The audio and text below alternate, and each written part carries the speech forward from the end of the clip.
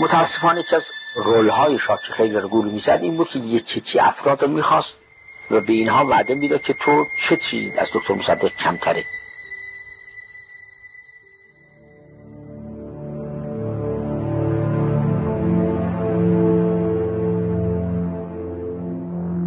اول مرحوم دکتر فاطمی رو خواسته به خیالی که خب اون هم جاه طلبی می‌کنه که بله به خدای دکتر مصدق پیر شده و باید کنار باشه دکتر خودت یه نخست وزیر بشو خودتو مثل دکتر مصدق هستی و دکتر فاطمی این شهامت داشت که آمد این رو به دکتر مصدق گفت.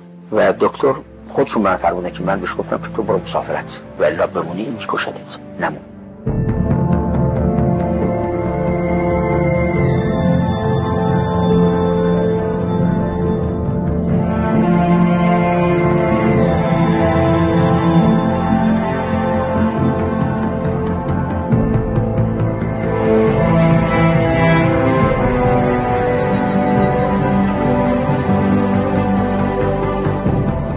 ساعتی که ایشان را می‌خواستن اعدام کنن دکتر فاطمی میگه که همین افسران این موقعی که دیگر جایی برای عوام فریبی نیست چون بین حیات و مرگ من دقایق بیش نیست.